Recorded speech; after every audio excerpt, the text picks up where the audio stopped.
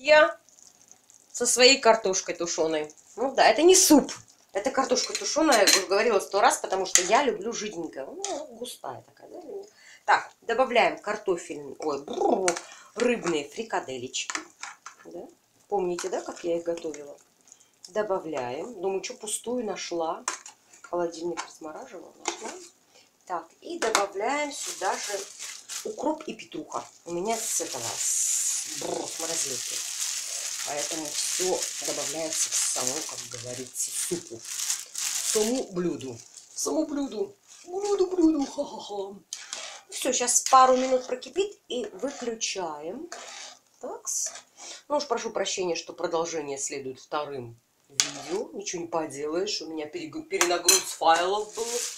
Поэтому так получилось. Я прошляпила. Ахаха, удалить расскажу вам очень интересную вещь. Ну, может, у кого-то нет канала на ютубе. Хочу сказать, что сейчас у нас у того, кто есть, у кого, господи, у того, у кого есть канал на ютубе, теперь будет платить налоги 6-8% по законам США. Вот так, представляете? Вот.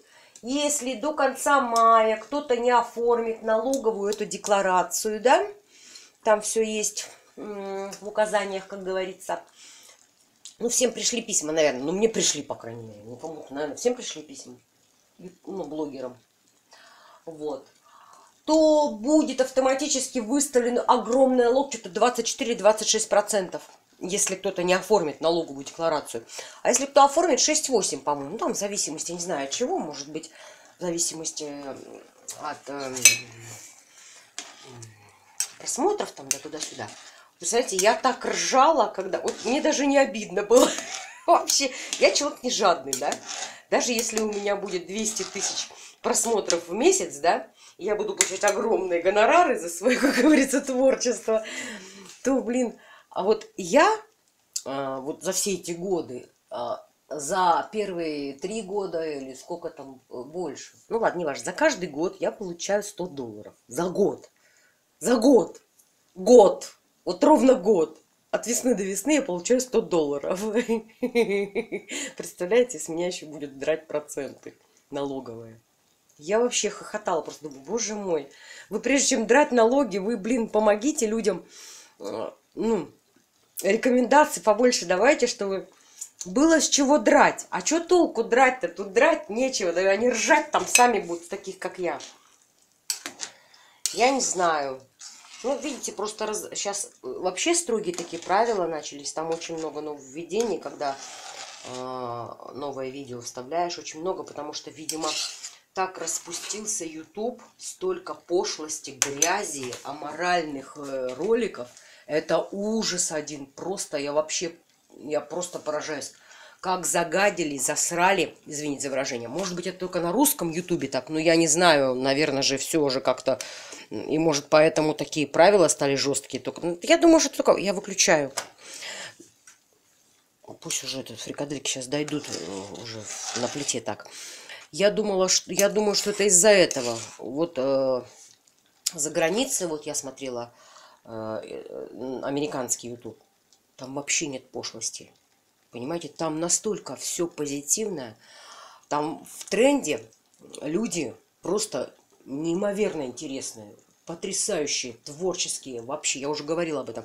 Но у нас же это трендец какой-то ужас.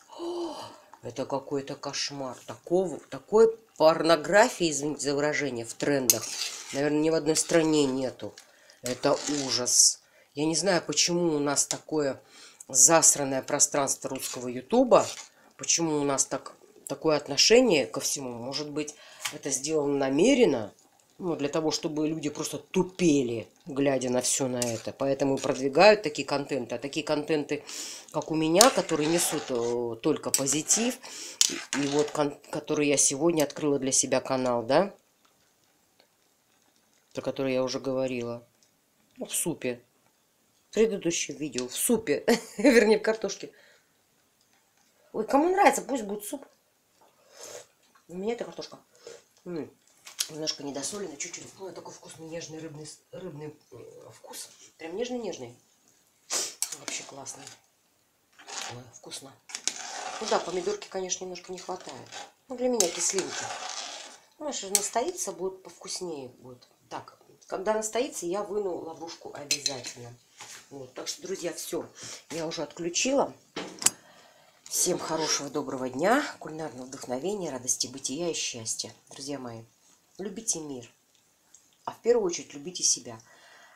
Человек, который себя не любит, он не любит вообще ничего и никого. А если он, ему кажется, что он любит, то это просто от, от одиночества. Это от того, что он себя не любит.